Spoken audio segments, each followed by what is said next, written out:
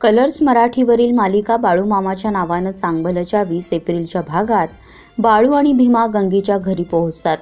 बाळूसोबत खेळण्याचा विषय निघाल्यावर सत्यवा बाळूसोबत खेळणार नसल्याचं सांगते. सत्यवाच्या अशा वागण्यामुळे बाळूला काहीतरी गडबड असल्याचा संशय येतो. काही अडचण आहे का? असं बाळू हिरप्पाला विचारतो. पण तसं काहीच नसल्याचं हिरप्पा म्हणतो.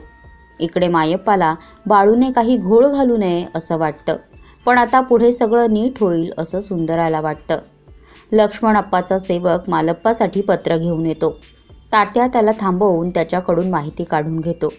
तिकडे भीमा आणि सत्यवा खेळत असताना बाळूलाही त्यांच्यासोबत खेळायचं असतं पण सत्यवा बाळूला खेळायला घेणार नाही म्हणते.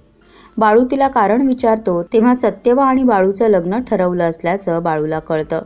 तेव्हा बाळूचा संताप होतो. तो सगळ्यांना बाहेर बोलावतो. त्याला न विचारता सगळं ठरवल्यामुळे बाळू चिडतो. काहीही झालं तरी सत्यवाशी लग्न करणार नाही असं बाळू म्हणतो. तर सत्यवाला विहिरीत ढकलून देईन पण तुझ्यासारख्या खुळ्यासोबत लग्न लावून देणार नाही असं गंगी म्हणते.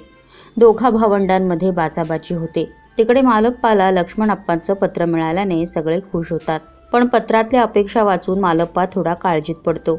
तिकडे हिरप्पा आणि भीमा बाळूला शांत करण्याचा प्रयत्न करतात. हिरप्पाच्या मनात बाळू आणि सत्यवाचं लग्न व्हावं असं असल्याचं कळल्यावर बाळू तसंच होईल पण नीट होणार नाही असं हिरप्पाला सांगतो. गंगी सत्यवाचं लग्न बाळूशी लावून देईल का? जाणून घेण्यासाठी बघत राहा कलर्स मराठी आणि पुढील एपिसोडच्या अपडेटसाठी सबस्क्राईब करा फक्त मराठी बस व्हिडिओला लाईक नक्की करा.